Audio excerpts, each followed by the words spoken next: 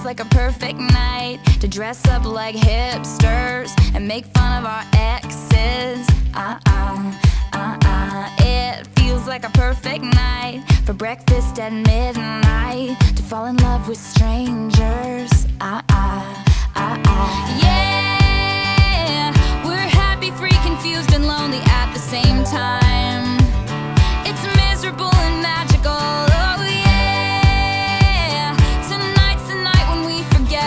the deadlines.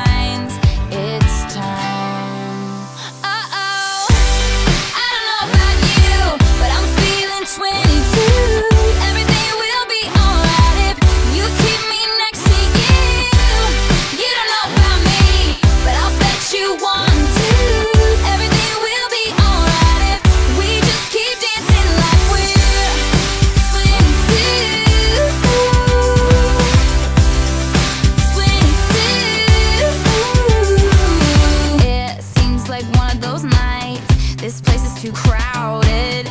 Too many cool kids. Who's Taylor Swift Uh-uh, uh-uh. It seems like one of those nights. We ditch the whole